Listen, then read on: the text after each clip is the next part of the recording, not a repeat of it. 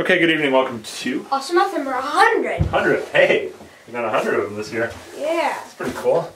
Uh, today you learned about modular inverses. Yeah. And I thought that was would be a fun topic just to do a quick quick movie about tonight. You see an eraser anywhere? Hmm. Well, there's one over there. Okay. So we know what um, uh, an inverse means when you multiply. Yeah.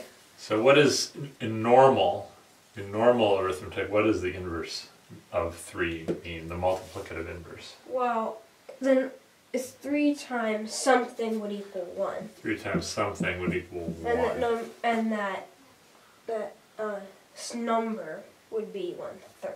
Okay, so one third is the multi- multiplicative inverse. Yeah.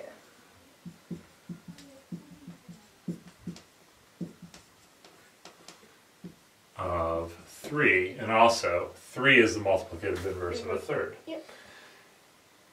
And we're going to keep that same idea and go to modular arithmetic. And so we could we could ask what are the inverses? Let's go mod 7 just for fun. Yep. Okay? 0 Doesn't have an inverse. because 0 times anything, Anything is is 0. is 0. So 0 and 1. 1 times what is equal to 1 mod 7? 1 times 1. Times 1. Okay. Now it gets more challenging. 2. Well, 2 times 4 is 8, and that's 1 more than 7. So that's interesting. 2 times 4 equals 1. It's congruent to 1. Mod 7. Hmm. So 2 and 4 are multiplicative inverses. Mod 7. Sorry, I got a little tongue tied there. What about 3? 3, well, well, 3 you have, you can't get one more than 7.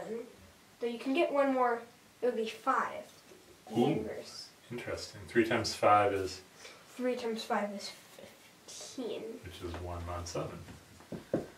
3 times 5 is congruent to 1 mod 7. Now what about 4? What's the multiplicative inverse of 4? It would be 2 since you just flip the digits over. Be 2. What about 5? 5 would be 3. What about 6? 6. Ooh. Hmm. What?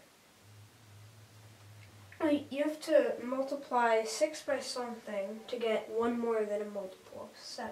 Yeah. Hmm. Well, 6 times. 6 times 6 is 36. Aha! 6 is its own multiplicative inverse. I guess we'd have to match that. Oh, yeah. High five. You know why? You know why that matches? It's a very good thing to notice. I don't think I know why they match. Because 6 equals minus 1 mod 7. And minus 1 times minus 1 equals Is 1. 1. So that means 6 times 6 equals So it would be 1 mod 7. mod 7. The negative numbers are pretty interesting in modular Yeah. arithmetic.